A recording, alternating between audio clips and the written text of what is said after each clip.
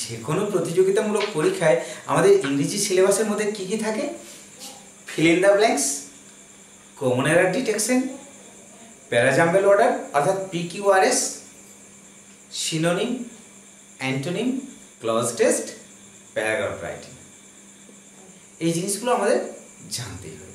কিন্তু এই জিনিসটাকে যদি আমরা সিলেবাস আকারে সাজাই, তাহলে কি বলব?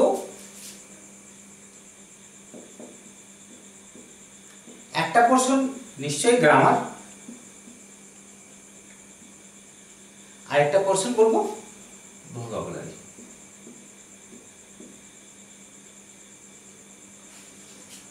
তাহলে গ্রামারের পোর্শনের মধ্যে আমরা আবার দুটো অংশ পাই।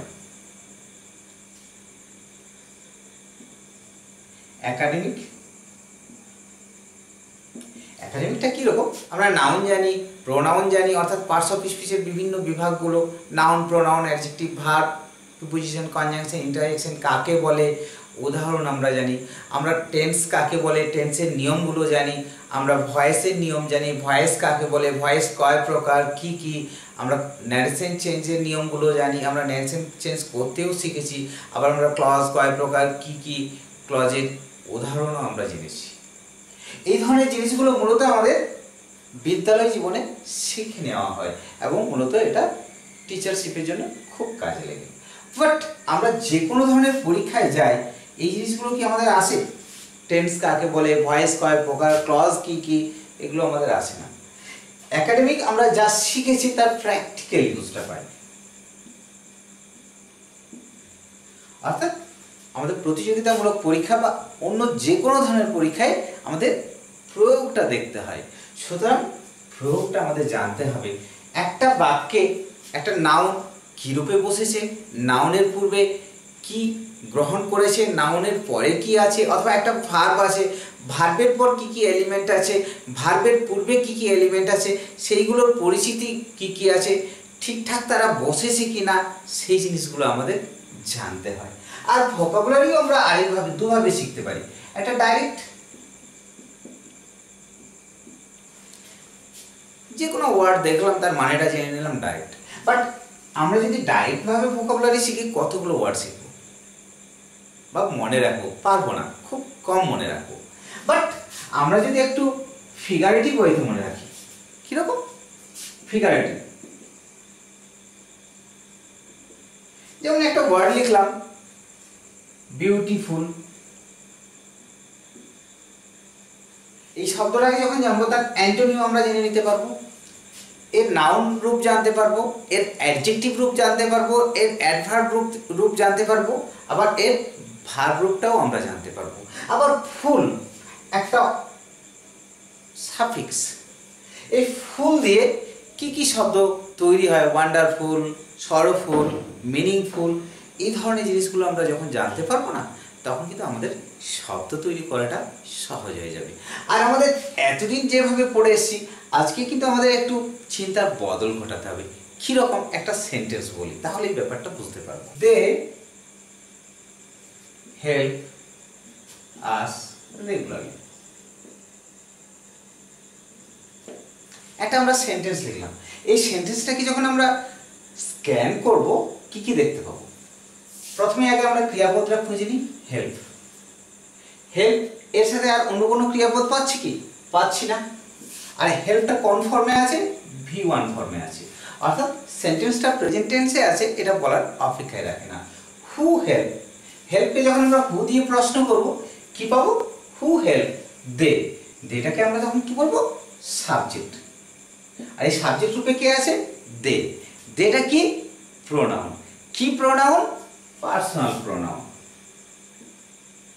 ওকে দেটা আবার কোন পার্সন থার্ড পার্সন কোন নাম্বার প্লুরাল নাম্বার এটা যদি দে না হয়ে হি হতো, তখন এক্ষেত্রে পার্সেন্ট অনুযায়ী ভার্বেরও পরিবর্তন ঘটতো। তাহলে সেক্ষেত্রে আমরা কি লিখতাম? হেল্পের পরিবর্তে helps H E P S অর্থাৎ আমাদের একটা সাবজেক্ট জানতে হবে। সাবজেক্টটা কোন পার্সনে আছে সেটা জানতে হবে। ক্রিয়াপদকে জানতে হবে। ক্রিয়াপদটা কোন টেন্সে আছে? প্রেজেন্ট টেন্সে আছে? না ফার্স্ট টেন্সে আছে? না ফিউচার টেন্সে আছে? আবার প্রেজেন্ট টেন্স থাকলে তার চারটা ভাগ আছে পাস্ট টেন্স থাকলে তারও চারটা ভাগ আছে ফিউচার টেন্সে থাকলে তারও চারটা ভাগ ভাগ আছে। এটা যদি হেল্প থাকতো, তাহলে সেটা ফার্স্ট টেন্সে হয়ে যেত। তাহলে দে হেল্প। দে হেল্প হুম? আস। তাহলে ক্রিয়াপদকে হুম দিয়ে প্রশ্ন করলে কি উত্তর পাচ্ছি? অবজেক্ট আর অবজেক্টে কি পাচ্ছি? আস। আসটা কি রূপ অবজেক্ট রূপ তাহলে উই উই এর অবজেক্ট রূপ কি হয়? আস। রেগুলারলি রেগুলারলি আমরা দেখি, বুঝতে পারছি। এলওয়াই আছে এবং এলওয়াই যুক্ত শব্দ কি? অ্যাডভার্ব রূপে ব্যবহার হয়। তাহলে they help us regularly adverb of frequency তাহলে এই অংশটাকে বলব অ্যাডভার্ব ওকে আমরা যখন একটা সেন্টেন্সকে এইভাবে ব্যাখ্যা করতে শিখব, জানতে পারব, তখন কিন্তু আমাদের error detection sentence improvement paragraph writing বা জাম্বেল অর্ডার পিকিউআরএস যে সিকোয়েন্স থাকে, সেটা কিন্তু নির্ণয় করা অনেক সহজ হয়ে যাবে।